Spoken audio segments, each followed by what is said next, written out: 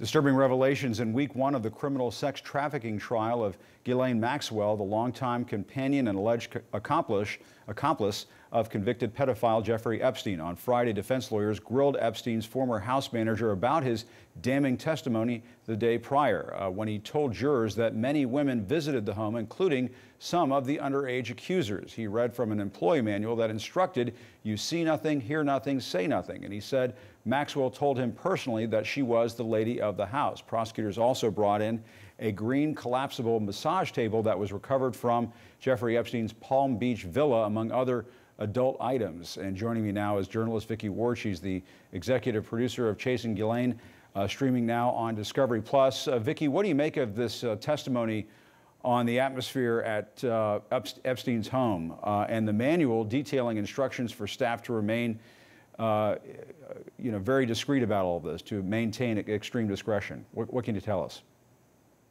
Well, so uh, Jim, when Juan Alessi uh, testified about that manual on Thursday, um, he described it as very degrading.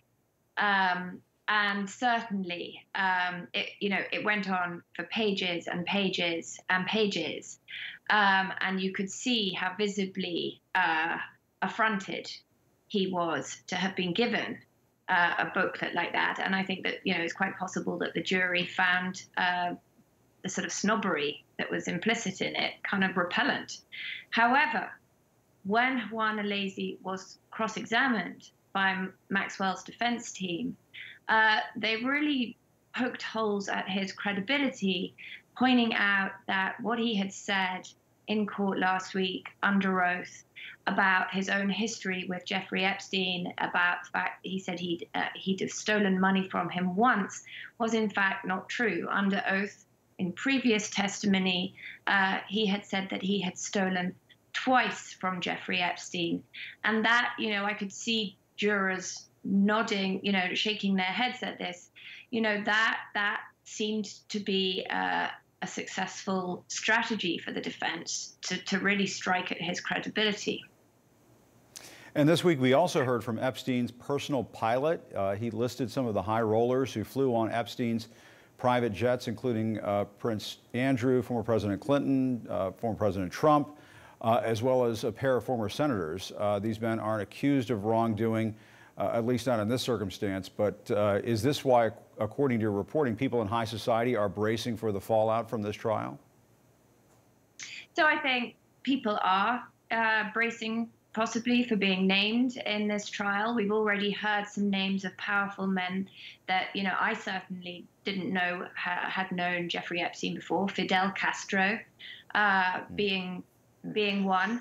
Uh, but I think the other point of all of this is, you know, the defense will argue that all these famous people uh, show how Jeffrey Epstein was able to camouflage uh, himself, and they, I suspect, they will uh, argue uh, that in part, you know, Ghislaine Maxwell was compartmentalized from uh, Jeffrey Epstein's life. That's certainly what they said in their opening arguments. Uh, and let's play a clip from your special that gets into the dynamic between Maxwell and Epstein. Sources who knew them during this time told me that he insisted she lose weight, and that she did. That he could be incredibly abusive to her in public, and she put up with it in silence. Is Maxwell also a victim of Epstein's abuse and manipulation, do you think? What, I mean, what do you make of that question? And do you expect the defense to play up that angle? So it's complicated, Jen.